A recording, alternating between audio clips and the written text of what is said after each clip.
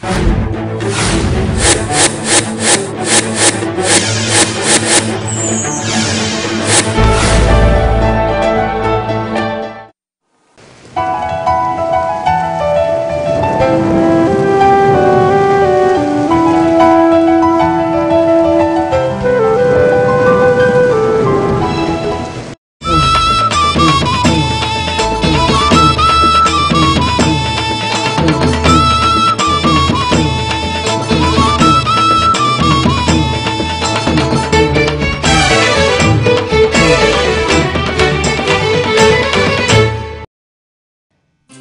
ராமநாதபுரம் மாவட்டம் பெரும்பான்மையாக மழைநீரை மட்டுமே நம்பி விவசாயம் செய்யப்படும் மாவட்டமாகும்.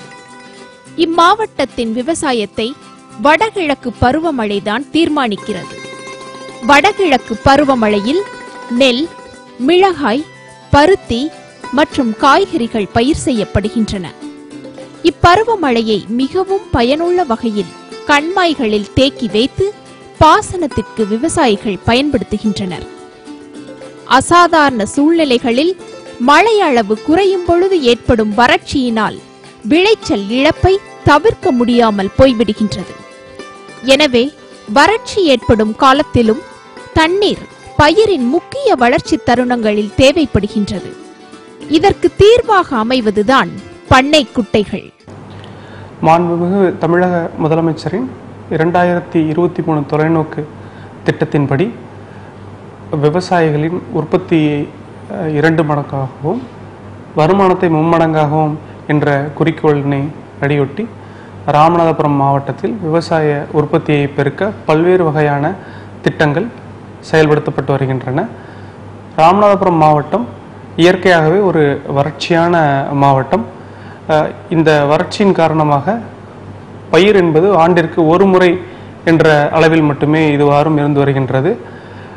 அந்த ஒரு பயிரும் மழை வெள்ளம் வறட்சியின் காரணமாக வீணாவதுடன் விவசாயிகளுடைய விவசாயிகளிடையே முதலே பாதிப்பிற்கு உள்ளாகி இருந்தது. இதனை போக்கும் வண்ணம் மாண்புமிகு தமிழக முதலமைச்சரின் அனுமதியுடன் ஐயாயிரம் பண்ணைக்கொட்டைகள் ராமநாதபுரம் மாவட்டத்தில் உருவாக்கப்பட்டு வருகின்றன.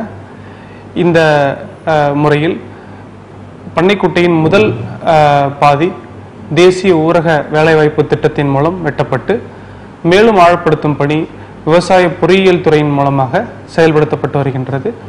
இவ்வாறு பண்ணைக்குட்டையின் மூலம் சேகரிக்கப்படும் நீர் வறட்சியான காலங்களில் அந்த அந்த ஒருபோக பயிரை உறுதி செய்வதுடன் நன்கு மழை பெய்யும் காலங்களில் இரண்டாவது போக பயிரையும் உற்பத்தி செய்வதற்கு ஏதுவானதாக உள்ளது. இந்த பண்ணைக்குட்டைகள் ராமநாதபுரம் மாவட்ட விவசாயிகளின் வாழ்வில் அஹ், மிக்க ஒரு பயனுள்ள திட்டமாக இருக்கும் என்பதில் ஐயப்பாடு எதுவும் இல்லை. இந்த பண்ணைக்குட்டைகளின் மூலமாக இரண்டாயிரத்தி இருபத்தி மூணு தொலைநோக்கு பார்வையின் அடிநாதமான விவசாயிகளின் உற்பத்தியை இருமடங்காகவும் வருமானத்தை மும்மடங்காகவும் மாற்றும் என்பதில் ஐயம் ஏதும் இல்லை. பண்ணை குட்டைகளை விவசாயிகள் தங்கள் சொந்த நிலங்களில் தாழ்வான பகுதிகளில் அமைத்துக் கொள்ளலாம். இதற்கு தமிழ்நாடு அரசு விவசாயிகளின் சிறிய பங்களிப்புடன் அதாவது பத்து விழுக்காடு பங்களிப்புடன் வெட்டி தருகின்றது. சார் நான் வந்து என்னுடைய நேட்டிவ் மேலமடை மேலமடை ஊராட்சியினுடைய ஊராட்சி மன்ற தலைவராக நான் இப்போதைக்கு பணி செஞ்சுக்கிட்டு இருக்கிறேன். அதனால் இந்த கேவிக்க மூலியமாக எனக்கு ஒரு அறிமுகம் கிடைச்சது. நம்ம கிராமத்தை மேலமடை கிராம பஞ்சாயத்தை வந்து கேவிக்கு மூலயமா தத்தெடுத்துருக்காங்க.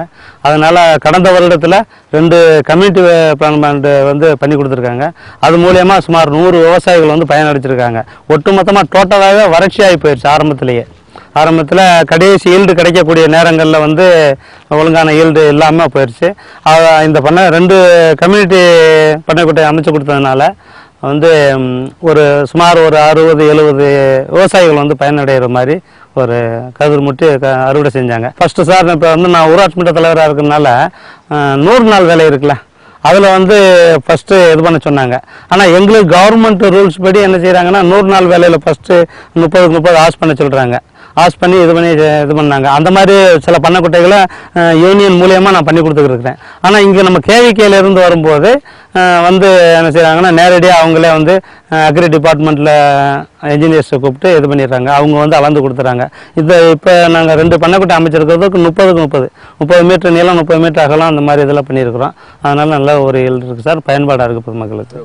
வறட்சி நேரங்களில் வந்து பக்கத்தில் வடிநிலம் ஓவரான மழை பெய்யும் போது அதிகமான மழை பெய்யும் போது விவசாயிகள்லாம் தண்ணியை வெளியே விடாத அளவுக்கு இந்த பண்ணைக்குட்டையில் ஒரு பத்தொம்பது விவசாயிகள் சேர்ந்து அதில் ஸ்டோர் பண்ணியிருக்கிறது வாய்ப்புகள் இருக்குது சார். அதே மாதிரி இந்த பண்ணைக்குட்டை அமைஞ்சிருக்கிற இடம் வந்து பக்கத்தில் ஒரு கலரி டேங்க் இது பெரிய கண்மாய் வந்து. இதில் வந்து வறட்சியான நேரங்களில் தண்ணி ஈல்டு கிடைக்குமோ? கடைசி நேரத்தில் பம்ப் செட் மூலியமாகவோ இந்த பைப் வச்சுருக்குறோம். இது மூலியமாகவும் நம்ம ஸ்டோர் பண்ணி வச்சுக்கிட்டோம்னா இதாக இருக்குது சார்.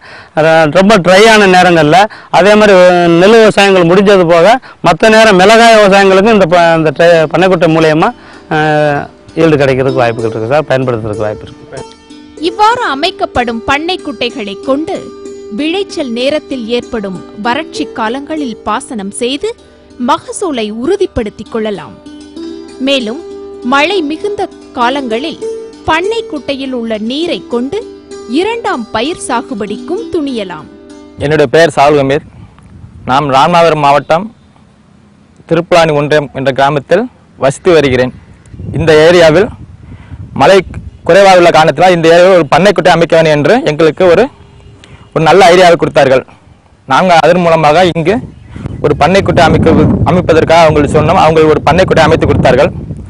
இதன் மூலமாக நாங்கள் கோடை காலங்களிலும் விவசாயம் பண்ணுவதற்காகவும் எங்கள் நாங்கள் மழை இல்லாத காரணத்தினால் ஒரு முறை விவசாயம் பண்ணிக்கிற இப்பொழுது இரண்டு மூன்று தடவை கூட விவசாயம் பண்ணுவதற்கு ஏற்றதாக இந்த பண்ணைக்குட்டை எங்களுக்கு உதவி உதவுகிறது. மற்றும் ஒரு ஆறு மாதத்துக்கு முன்பாக கேவிக்கை மூலமாக எங்களுக்கு நீர் தெளிப்பான் கருவி மற்றும் அதற்கு தேவையான இயந்திரங்கள் கொடுத்து எங்களுக்கு வேர்க்கடலை பயிர் நடுவதற்காக கொடுத்தார்கள். நாங்கள் இந்த ஏரியாவில் வேர்க்கடலை போடுவது பற்றி எங்களுக்கு ஒரு சிறிது பயமாக தான் இருந்தது. ஆனால் அவங்கள் உதவியுடன் நாங்கள் இந்த ஏரியாவில் வேர்க்கடலை பயிர் செய்தோம். அவங்க எதிர்பார்த்த அளவுக்கு அதிகமாகவே இங்கே மகசூல் அதிகமாக இருந்தது. ஆகையால் எங்களுக்கு இந்த பண்ணைக்குட்டை மேலும் மேலும் எங்கள் மாதிரி விவசாயிகளுக்கு இருந்தால் அவர்கள் இன்னும் இதன் மூலம் அதிகமான பலன்களை எதிர்பார்க்கறதுக்கு வாய்ப்பு உள்ளது. பண்ணை குட்டையில் உள்ள நீரை கொண்டு தமிழ்நாடு வேளாண்மை பல்கலைக்கழகத்தின் ராமநாதபுரம் வேளாண்மை அறிவியல் நிலையத்தால் உருவாக்கப்பட்டுள்ள சிறிய நடமாடும் நீர் தெளிப்பான் மூலம் தெளிப்பு நீர் பாய்ச்சப்படும் பொழுது நீர் சேமிப்பும் கூடுதல் மகசூலும் கிடைப்பது சாத்தியமாகின்றது. பருவமழை காலத்தில் சராசரியாக ஆறு இருந்து ஏழு நாட்களில் நமக்கு கிட்டத்தட்ட அனைத்து மழை நீர்களும் இங்கே பெறப்படுகிறது. அனைத்தையுமே நம் பண்ணை குட்டைகளிலே தேக்க வைத்து கிட்டத்தட்ட ஐந்திலிருந்து ஆறு மாதங்களுக்கு நம் பயிர்களை லாபகரமாகவும் பயனுள்ளதாகவும் நாம் பயன்களை செய்யலாம். இந்த தேக்கப்பட்ட நீர்களை வந்து இதை வந்து நம்ம நீர் உற்பத்தி திறனை உற்ப அதிகரிக்கிறதுக்காக சில திட்டங்கள் பண்ணதில் வேளாண்மை அறிவியல் நிலையத்திலே வந்து இந்த நடமாடும் விசைதொலிப்பான் மூலம் அதாவது மினி போர்ட்டபிள் ஸ்ப்ரிங்க்லர் மூலம் இந்த தண்ணீரை எடுத்து பயிர்களுக்கு தேவையான நேரத்திலே அதை மிக சிக்கனமாகவும் நீரின் உற்பத்தி திறனை அதிகரித்தும் லாபகரமான பயன் பெறுவதற்காக அந்த தெளிப்பான்களை நாம் பயன்படுத்த சொல்லி விவசாயிகளுக்கு அறிவுறுத்துகிறோம். இது விவசாயிகளிடத்திலே அதிக வரவேற்பை பெற்றுள்ளது. எனவே மழை நீரை மட்டுமே நம்பி விவசாயம் செய்யப்படும். இது போன்ற இடங்களில் பண்ணை குட்டைகள் அமைத்து நவீன நீர்ப்பாசன முறைகளை கையாண்டால் இருமடங்கு விளைச்சலும் மும்மடங்கு வருமானமும் எளிதில் சாத்தியமாகும்.